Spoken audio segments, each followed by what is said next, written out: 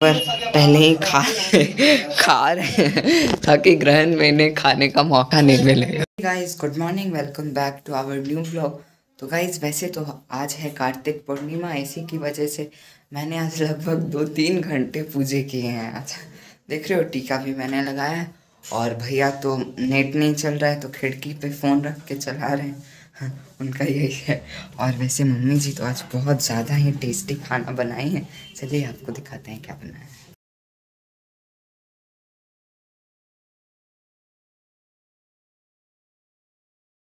देख रहे हो काफ़ी ज़्यादा टेस्टी आज खाना है। सो so, वैसे भी मुझे काफ़ी तेज़ भूख लगी ही थी और यहाँ पर हमारा कह सकते हैं ब्रेकफास्ट तो रेडी हो चुका है। सो वही खाता हूँ मैं बैठकर। तो यहाँ तो मैं नहीं आ रहा था गाइज़ इन्होंने मुझे बुलाया कि टीवी देखते देखते खाएँगे। तो ठीक है, और साथ में खीर भी है गाइज़ क्योंकि आज तो है पूर्णिमा। पूर्णिमा के दिन हमें ये फ़ायदा हो जाता है कि काफ़ी टेस्टी खाना खाने को मिलता है। अच्छा भी है। अभी तो गाइज़ हमारा खाना पीना हो चुका है, और अभी छत पे जा रहे हैं क्योंकि काफ़ी ज़्यादा नीचे ठंड लग रही है। वैसे भी मैंने हाफ़ टी शर्ट पहना है तो काफ़ी ठंड है, ऊपर चलते हैं। भैया तो वैसे कब से छत पे ही बैठे लगभग एक दो घंटे हो भी गए हैं। धूप तो गाइस काफ़ी मस्त लग रही है, और भैया तो इस रूम में सो रहे हैं अभी। देख सकते हो यहाँ पर ये सो गए हैं। सोते भी तो बाहर सोते धूप में। वहाँ तो और ठंडी लग रही है। तो पाँच दस मिनट मम्मी के साथ यहीं पर बैठता हूँ मैं भी। जनरली गाइस पता नहीं है क्या हो रहा है, आज भी सोलर इक्लिप्स लग रहा है। यानी आज भी सूर्य ग्रहण है। पता नहीं इतना क्या है मोहन जी को सन के बीच में आने का। सो so, वैसे तो अभी मुझे मम्मी जी ने बोला है कि तुलसी के पत्ते हर एक खाने की चीज़ों में डाल दो क्योंकि मम्मी हमेशा ऐसे ही करती हैं और करना भी चाहिए। पता नहीं ये कुछ उपाय होते हैं।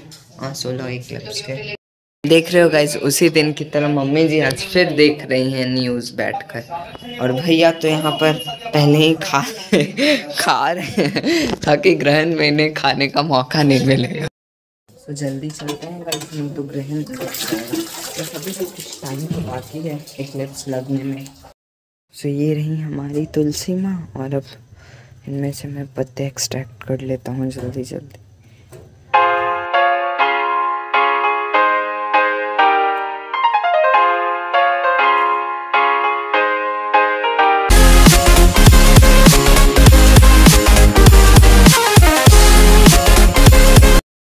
यूजली मेरा काम हो चुका है, अब मम्मी जी का कहना मानते हैं सबको डालते हैं सारे मटेरियल्स में। गाइस मुझे तो अभी हर एक चीज़ में डालना पड़ेगा। मम्मी जी का कहना है तो देखो मैंने आटे में भी डाल दिया।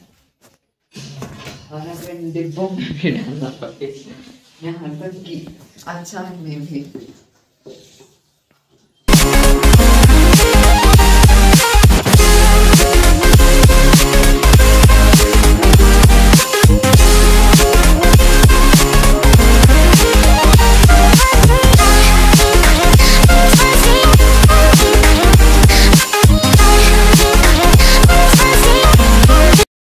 के बावजूद भी आज मैं तो दिया नहीं दिखा सकता जस्ट बिकॉज़ ऑफ़ सूर्य ग्रहण कब से साइकिल बाहर ही लेकर गए हुए थे ये, अभी आ रहे हैं, देख लो इन्हें।